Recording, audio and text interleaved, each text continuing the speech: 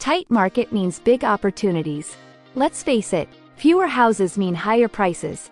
It's a classic case of supply and demand.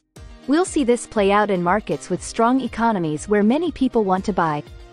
To decide where to buy, let's compare Bay Area with a couple of hot locations. Let's look at something called housing permits.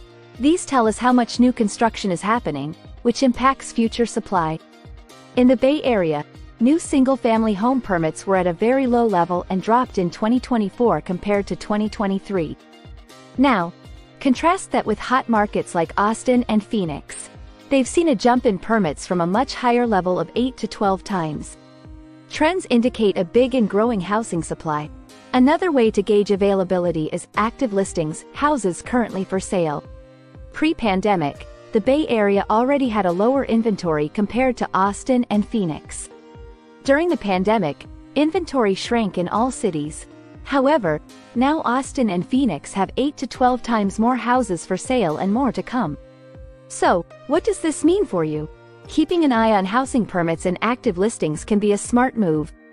Buying in a market with limited supply, like the Bay Area, can be a good investment in the long run, but be prepared for higher initial costs. Knowledge is power. Partner with a great real estate agent who understands your market. Good luck on your house hunting journey.